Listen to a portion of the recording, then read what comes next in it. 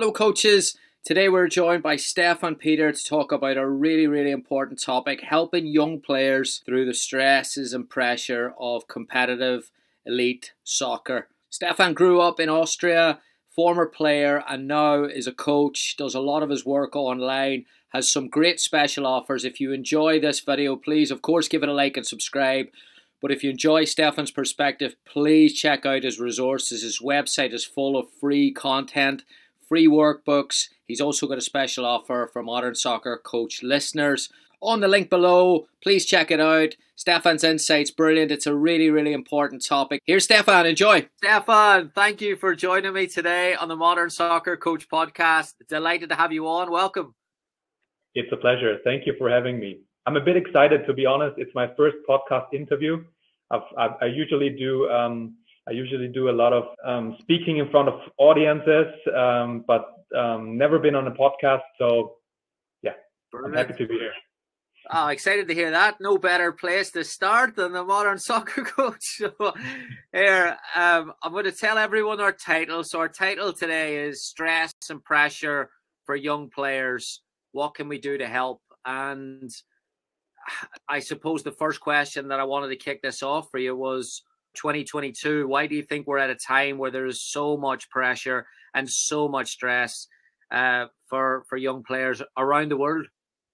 Yeah i mean there are there are probably some very obvious reasons to that um, and there are some reasons that might not be that obvious. I mean we all know that um, pe- that people are able to uh, to see the whole world with just a click. So I'm talking about all those kind of obvious pressures that are that are growing within our society, and that's not only a phenomenon for for for young athletes um, that we get assessed by social media basically every day, and um, of course within those spaces there is a huge glorification of of, of pro athletes, and um, yeah, when then sometimes you have overambitious parents that just put a lot of stress and, and, and, and pressure on their athletes or on their kids, as I have experienced myself. And um, yeah, then there is media, there is the interest of the club, there is the interest of the sponsors. So as we all know, the whole system of um, the whole football system or, or the whole soccer system has really been commercialized. Um, yeah, those I would say are the obvious reasons that we are all aware of. You don't have to be a coach to be aware of that. But I think then there are also some reasons that are not that obvious in at first. And um, maybe if we just look at the fact that when a young player decides, for example, to to join an academy and to leave his home, to have this this big change of environment, to have a change in friends, to um, not seeing his family as much as he'd like to probably, or maybe even um, the first loss of a romantic relationship, then this is on top of that, this sort of stress and, and, and pressure that comes along with this sudden change. So I think this is a this is a huge part for this is a huge reason why there is so much stress on on, on young athletes and um, especially because they have never been equipped for for this change.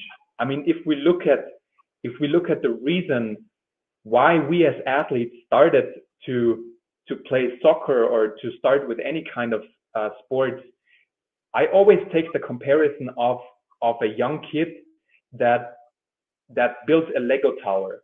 You know, we all have this in mind. When we were kids and we were playing with Lego, we just did it because we loved it, right? And it didn't matter to us how high the tower was at first. And even when we finished the tower, we, with the same excitement and with the same love as we built the tower, we destroyed the whole, the whole thing. Then when we start to compare each other to other people, then we suddenly start to realize, okay, there is, it, it, it makes a difference in our emotions and in our way how we how we feel pressure when it suddenly gets important how high the tower gets yeah, and then we start to think what happen what happens if we if we don't achieve the dreams that we have.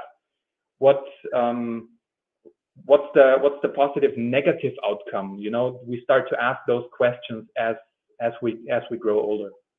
Obviously, people develop and and at different rates. Some people find it hard at the tough at the start. Some people excel at the start, and and everyone's at different pathways. And we're getting more education, more awareness about that as coaches. What are some telltale signs from a psychological standpoint or observational standpoint to see about how a player is struggling and maybe getting there a little bit earlier than, than we would normally get there to help? Yeah. Obviously, there are many signs. I just take those those signs that are the most obvious for me in my experience. And um, for me, it was like the first sign that that I experienced and that I also also see with my athletes is when they suddenly stop to enjoy winning for some reason, mm-hmm. right?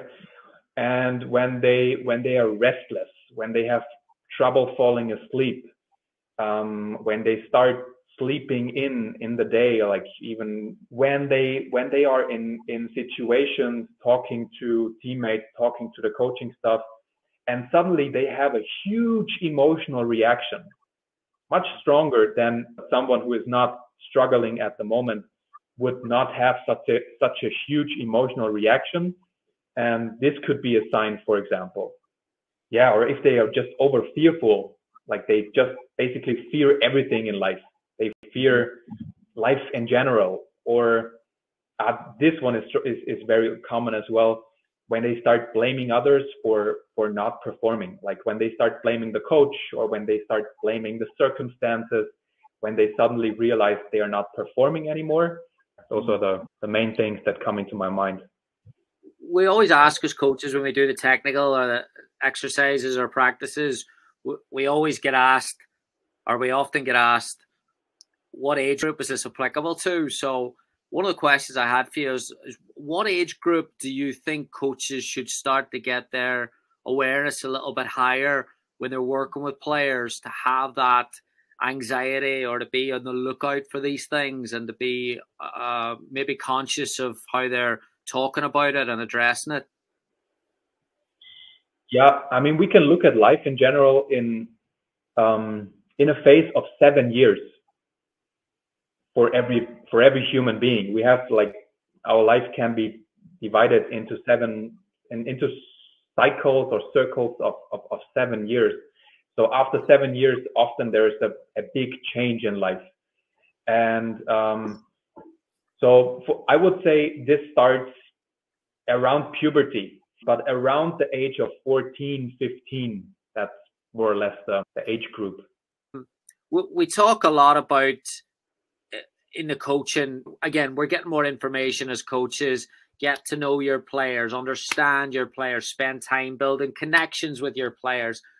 But for coaches that are maybe only getting access to players once or twice a week and they don't have an assistant coach, or they're just maybe they have access two or three more times, but they've 20 something players.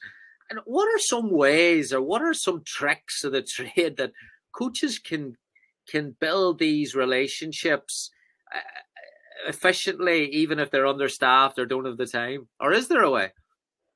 Yeah. What I want to say is try to see the, the, the player not as a player first, but as a kid first. Try to see them as human beings first, because we are human beings, right? We are, it's not we put on the role of a soccer player, we put on the role of a musician, we put on the role of a CEO, but in the end, we are human beings, and this always influences each each other, right? Your um, so this is this is for me in in my work as a coach. I always try to um, make sure that my coachee feels that I see him or her as the as as the person he or she is as the human being he or she is and not as the athlete first. I think also to as a as a coach we try to we try to think that we have to know everything and that we are blessed with all the knowledge and that we always know what's best for our players. But in my experience, it re- it really helps when you ask them questions. And what, what this will do is they will immediately feel that they are taken serious. And if you look back to when we were 12, 13, 14, I mean, all I wanted at that age was I wanted to be taken serious by the grown-ups. I wanted to grow up myself and I wanted to be independent. And I always felt amazing when a grown-up would ask me what I feel, what I think, what I just what I just experienced. So this is to me like a really important thing that we can do as as coaches and also say I remember have you seen the documentary about Pep Guardiola and and Manchester City? Yes, the Amazon one. Yeah, yeah. Uh, I remember one scene where he is in the dressing room and and and he tells all of his players, he tells them, you know, guys, I don't know every I don't know everything, and sometimes, um, sometimes even I fail and and but I try, you know. But you have to understand that even I as a coach sometimes I don't know everything, and that's something um, just to be honest, yeah, with your own flaws. It's funny because th- there's a few times in that series that he actually says he, uh, once there's a player sent off and he said right he's got to take a player off and he's like i'm i don't know i don't know the answers uh, and he uses this almost as a defense mechanism to almost li- relate to the players but i laugh because my coach's hat said that if you lost five games in a row and you go in there and say, I don't know the answers, guys, your credibility is out the window, you know? So it's yeah, yeah. Sometimes that's a fine tuning. That's a fine tuning, right? Of course you cannot you cannot be a coach and at the same time tell your players all the time that you don't know what you're doing. but I know what you mean. I know what you mean because but but we actually do the opposite is that we you know, you're asking for a little bit more humility there. We actually, as coaches, um, that pressure, we talk about pressure, stress, anxiety, the pressure to have all the answers or to perceive that you have all the answers can actually yeah. Can actually land the player in a in a in a diff- difficult spot mentally is what you're saying yeah absolutely when you feel like for example that the whole team is super nervous you could also like maybe afterwards you could address, okay, guys, I felt that you were nervous, but you know what? Even I, in that moment, I was nervous. But you know what I did? Bam, bam, bam. That's what I did, and that's what helped me. And then the players go like, ah, okay. Even my coach is only human, and they can relate. They can relate to you as to you as a human being, and this builds emotional intelligence. This will build emotional intelligence players, and this is doing something extraordinary in a in a team because if you have many emotional intelligent players in your team, you know what's going to happen? They will also be able to be more respectful, more understanding. They will have more trust towards the other members of the team and they will support, they will support each other much more. And this makes the whole work as a head coach much, much easier because then suddenly if if I, as a player, trust my teammates, I can trust them with my own weaknesses. I can go to my captain of the team and I can let him know, hey, man, I just felt really bad during this game. I had the feeling like my body language went really bad. Um, can you do me a favor? The next time that you feel like my body language goes really bad, can you give me some sort of a sign? just like as you would tell me when I have a player in the back of, a, of my mind, give me some sign that my body language goes bad, right? And this builds a lot of trust within the whole team. And you don't need to love all of your teammates, but if you are able to to make trust each other and to make them respect each other that's going to make our work as coaches, your work as a head coach, that's going to make it much easier. We talked before about the differences in in the culture over here, especially in the US, and I know it's uh, quite similar in the UK, where they've got the pressure now on elite performance from a I suppose, elite coaching to where you're creating these academies and you're trying to get players to another level, another level, and the pathway leading to the professional level. So pressure that we know if we reverse engineer it, pressure is going to be there when they arrive close to or definitely in and around the professional level. And I think a lot of coaches struggle with the fact that, like anything, we want to coach and expose players to something that they're going to see later on. So the technical demands, the tactical demands, the physical, etc., etc. Now the mental demands will involve pressure. How can a coach expose young players to expectations in a healthy way at a young level and almost build that in a way that you know doesn't doesn't make it very very difficult or too difficult for the player that's a great question because i think that's one of the hardest things that you can do as a coach because every player is so different. And what works with one player it's not guaranteed that it's going to work with with the next player the same. Um, but in my experience um, it's similar to what i said before.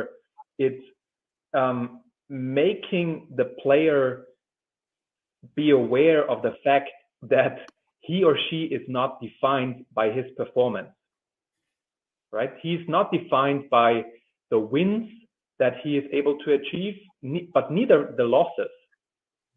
But what we define a player or how we define a player is how he reacts in moments when he gets de- defeated, how he reacts in moments when he when he wins, how he supports the rest of the team, how he communicates with the coaching staff, how he is like acting outside of of the of an academy, how he is presenting himself on social media, those are the things, but those are very human things. So I think if you're if you're able to to make a player understand that he does not become a better person, a better human being just because he's winning, but at the same time he's also not becoming a, a, a worse person is if he is losing. I think this takes away a lot of the stress already, right? Hundred percent, hundred percent. Um, you you when you were a young player, I read that you had played with, or your dad was your goalkeeper. You were a goalkeeper. Your dad was your coach.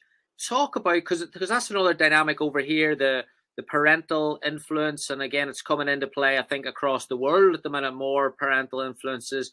How was that experience for you, from both the positive and negative standpoint? Um, I think the most positive influence on on my dad being my coach was he demanded a lot. so this made me a performer. I was always trying to to be as good as possible, and I was a hard worker, and I was really um, I was really disciplined, you know. And I think that was the that was the thing that I that I can take away as a positive thing from that. Um, but at the same time, I put a I put a lot of pressure on myself as well because unfortunately the thing was whenever whenever I was not performing, my dad would not show me love. He would make sure that, or he didn't do it consciously, you know, but un- but unconsciously um, he didn't talk to me if I didn't play well. Um, he was he would like if if I wouldn't go to to training, he would ignore me for two days. He wouldn't he wouldn't talk a word to me.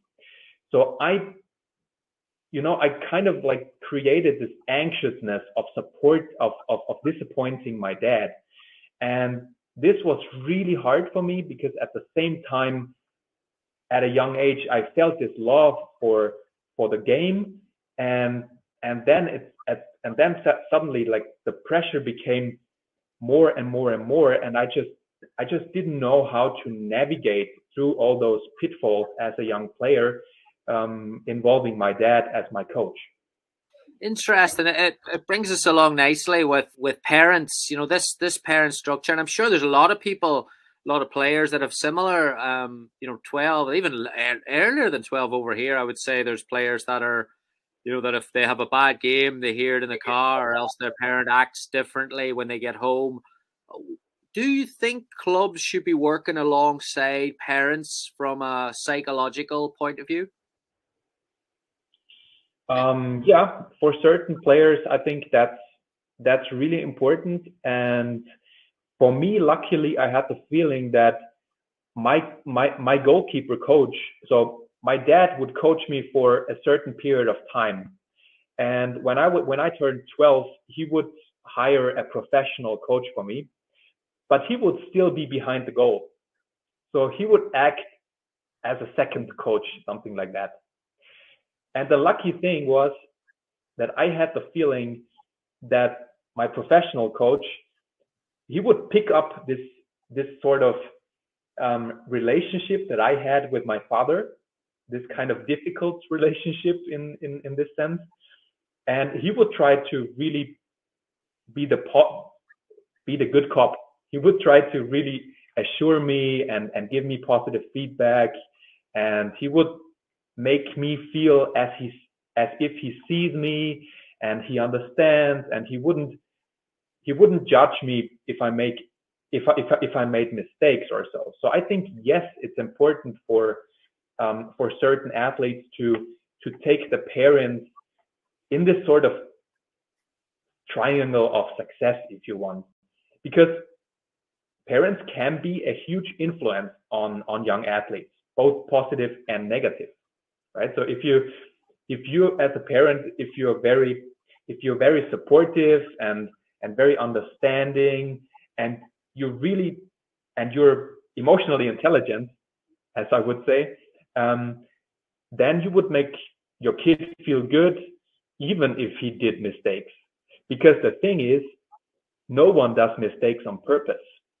we even like language even tells us we make we make mistakes right but um, or mistakes happen but we never do them consciously. There are always two reasons why mistakes happen. Only two reasons. The first reason being that you are not having the skill set to manage the task that you're required to do. Then you need to work on your skill set. Okay. And the second reason is the second reason is that you are um, you are not in the present moment. You're not concentrated enough. Your mind goes drifts away because you think this this situation is too easy. Then you're not concentrated. And then you need to work on your mindset. You need to work on your concentration. You need to work on being present in the moment. Let's talk about emotion set. It's a word that you created. Tell me what it is. Tell me how we can work on it. I mean, for me, the emotion set is kind of like the, the, the counterpart, or not the counterpart. It's um, in addition to the mindset. Mm. So um, the emotion set for me is psychologists use the word emotional intelligence. This is this means how well you cope with stress situations, how you deal with failure, how you deal with success, how your how you manage your your your own emotions and and um, how much awareness you have for for your own limiting beliefs and the things that block you. This is what i understand when from or this is what i understand um, when i talk about the emotion set so within your website you're offering a free session which is an unbelievable deal for for any player you know to to connect with you what's the starting point with that emotion set? What does that first session look like? What type of questions are you asking? And yeah, so it's it's usually it's a Zoom call um, mm-hmm. where the main the main target is to um, to get to know each other and to give the player or the athlete the the feeling that I see him as a person. So this is because this this immediately builds a strong a strong connection and a strong a strong trust towards each other and basically what i do is is i I, I listen a lot during this first um, during this first Zoom call. I try to ask a lot of questions. I try not to to give advice um, because I feel like as a coach, there is a reason why we have two ears and only one mouth.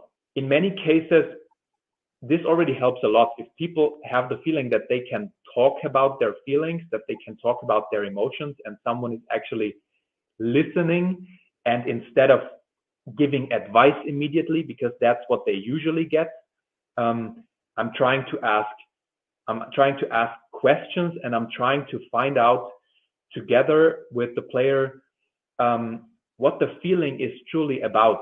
You know, because in many cases, um, people cannot really um, cannot really specify or can, cannot really assign the feeling they have right now.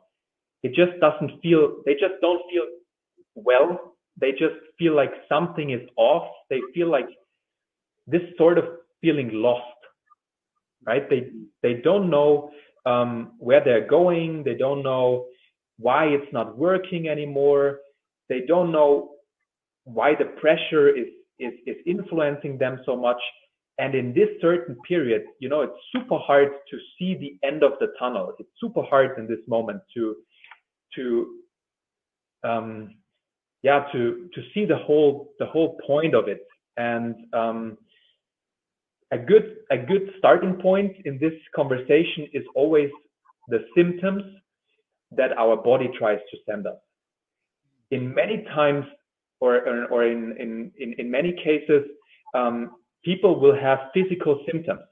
So, for example, if someone, a lot of athletes, if they suffer from a lot of pressure and a lot of stress and anxiety as well, they will have problems with their digest with their digestion. A lot of those those pressures and a lot of these anxiety um, get stored, or, or, or the symptoms that we feel is often coming from our gut from our um, yeah from our from our digestive system. But it doesn't need to be this sort of symptom. It, it can be other symptoms as well. And what I'm trying to do is to find out the feeling that the player has in the moment.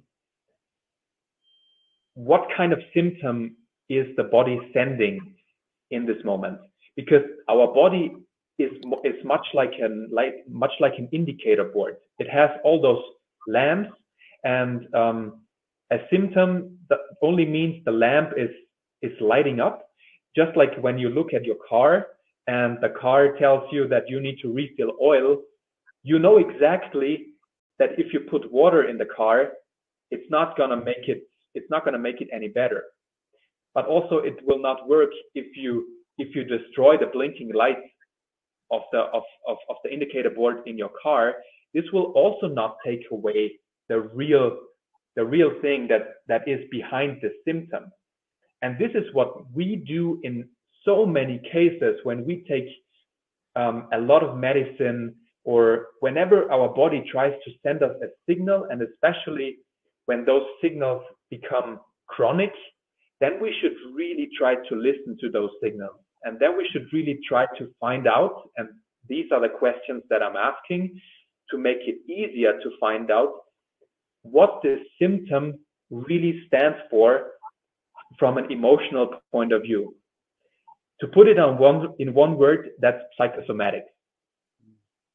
Right? But if you if you have the right set of questions, um, it's much easier to get to the to the real cause for your underperforming. And this is what I tried to do in the first in the first um, tele in, in the first Zoom call already and then I would try to go on and explain the whole the whole method, the other steps, and try to outline the how it's possible to go from this feeling that you're currently feeling, how it's possible to go and create a complete new vision for your life that gives you back this kind of energy or this kind of spark that you see in people's eyes when they really enjoy doing something. And um, yeah, so that's what I'm trying to do in the first in the first uh, Zoom call. Your ebook, which is also free on your website, um, I had a good read of that. There, you outline the things that you want to work on, almost in a timeline. And in week yeah. two, you said, and I'll quote, in order to perform, you have to accept what is. And I thought that was really interesting. Can you talk to us a little bit about the role of acceptance for an athlete? Yeah, for me, this is this is one of the most exciting and one of the most important things that you can do, not only as an athlete, but as a human being in general.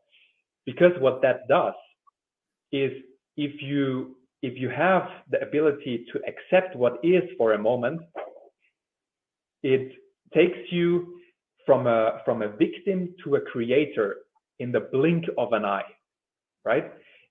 Whereas if you're not able to accept what is, what are you doing in this moment?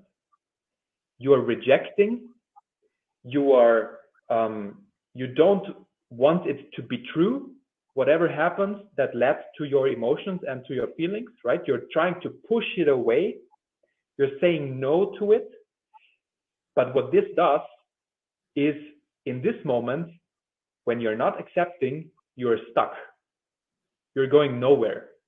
You are stuck in the situation and in the feeling that you are. And this is where the downward spiral begins for people right? This is where it's get where it where it's getting worse and worse and worse and worse. So, and I'm not saying that acceptance means that you need to like what ex, what you've experienced. That's not the same thing. But at least you need to try to see it neutral.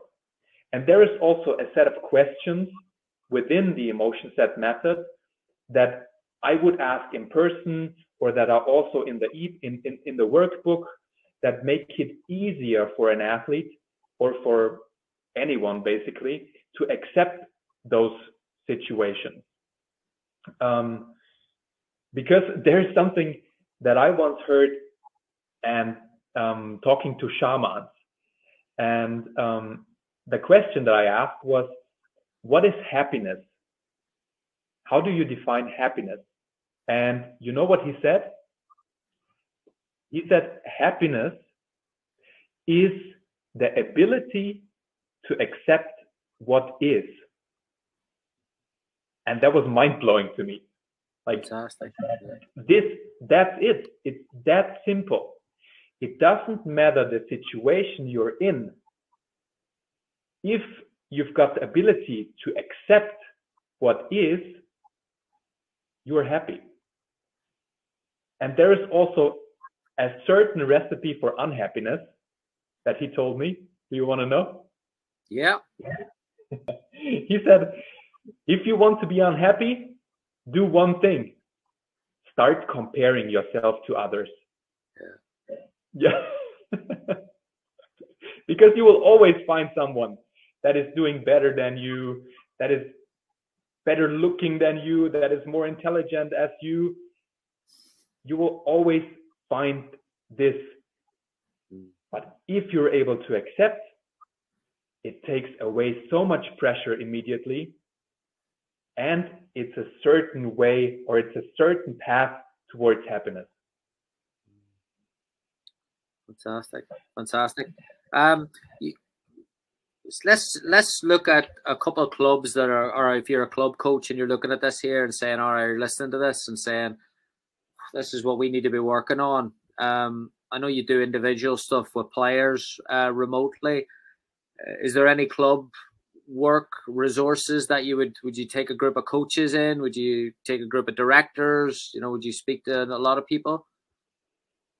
Yeah, absolutely. I mean, the the method that I created, the emotion set method, is suitable for not only for the athlete itself, but also for the parents. And I'm also working with parents, like with those you um, you said it before, um, like the soccer mom and the soccer dad. That's that's uh, I think that's basically coming from the US. I'm I'm, I'm not entirely sure. I'm I'm currently working with with a soccer mom um, um, where where where the boy is um, in in in LFC or um, no in in the Liverpool Academy, mm. and um, it's very helpful to her as well because her son is really really young. He's really really young. And um, the like I would say it's a it's a good age to start doing this method or doing this kind of work with me as your coach. Once you turn like 14 15 that's like where it starts. Um, but this doesn't mean that that a parent or a coach um, cannot do it because i believe that we always need to lead by example right so we as coaches you as a head coach or the, the mom as a soccer mom, um, she needs to lead by example. And it's the same thing if we try uh, if we try to tell our kids not to smoke because it's unhealthy, and we are smokers ourselves. Um, it's probably not going to work as well. Yeah, I, I think this is um, this is really important to to to lead by example, and um, that's the reason why it's why it's also possible for for moms and dads and and, and coaches to to use this to use this method. Yeah. Yeah what, what what advice would you have for let's say a coach is listening and they're going to on their way to practice or they're about to start the week and they're saying all right i want to be more deliberate about awareness surrounding mental health um, players dealing with stress pressure anxiety that's my goal this week. What, what where would they start? Yeah, well, I would say try to um, try to be um, as open and as um, as much in contact with the players from a human perspective as possible. Um, try to ask them questions if you feel like I didn't ask my players any question for a very long period of time try to take them in individually and um, try to talk to the player individually. It's not gonna it's not gonna be possible to do to do that with every player in one day. But if you're if you're saying, okay, I take a full week where I try to talk to each player individually and really ask him how he feels and how he's doing and how he's coping. What about school? What about mom and dad? And you know, just be interested in the person because as coaches, what we try to, or what we tend to be, is by educating people all the time, we're kind of like, we try to be interesting instead of being interested. But as soon as we start asking, it flips around the this sort of um, yeah coach to player um, coach to player interaction you start to be interested in the player. And this is this would be a brilliant step for me um, that that that I would suggest do. And um, I when I look back and when I look back to my own professional goalkeeper coach, um, not my dad, but what what he did um, um, what he did was he asked me a lot about those things, and this made me feel good because I felt under I felt like he took me serious and I felt very um, I felt like on the same level, although he could have been almost my grandfather. Yeah, it's amazing when, when somebody cares and someone spends time with you. It's amazing what that does to the person. Yeah. Exactly. I, you, you know what just comes into my mind is what Ottmar Hitzfeld once said, the former coach of Bayern Munich so I grew up with this in this period where where Bayern Munich and Ottmar Hitzfeld was was having great success, and um, I think it was Stefan Effenberg who said it. I'm not 100% sure, but he said that Ottmar Hitzfeld told the team, he told them, guys, the dressing room is your space. I'm not gonna I'm not gonna invade the dressing room. You're gonna handle your stuff within the team yourself because I trust you on that. Mm-hmm. Okay. So by doing this, of course, he knew that he had players like Oliver Kahn, like Stefan Effenberg, like Michael Tarnat. Those were the players that took a lot of responsibility away from the coach when it came to building a team. And I'm not saying this is the only way to do it but this is an interesting way to do it, right? Giving young players the confidence and the trust that they deal with this situation themselves. And I don't know how much they talked about their emotions at that time. I'm pretty sure they did not do that too much. So this is something that I would add. This is something that I would try to add as coaches these days. Um, try to create this safe haven of, of, of, of making the whole team um, be aware of that we are a team and we support each other and that it's okay to talk openly about our emotions and about our feelings and if we're if if we don't um, talk about it with the whole group at least let's talk to the coaching staff individually. But this also means at the same time assuring the player that this is not going to be interpreted as a weakness.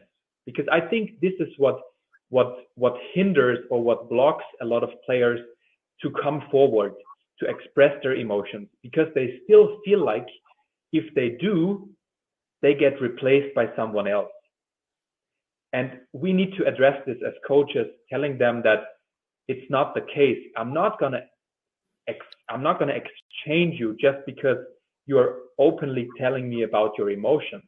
Mm. If I see that you're working on your emotions, and this is a great advice for players that are not playing frequently, I would say, that, that, that are not playing from that are not playing the whole 90 minutes minutes or that or players that that come on as a substitution is to make to make them aware of the fact that they are still a very important part of the team and it's important how they react when they are not playing. It's it's important how their body language is when they're on when they're sitting on the bench, because also their body language influences everyone else around them. There is a frequency that we emit all the time, and if we are if we give the the feeling as as a player who is not playing, if if, if we give the whole team the feeling that we are pissed and that we don't care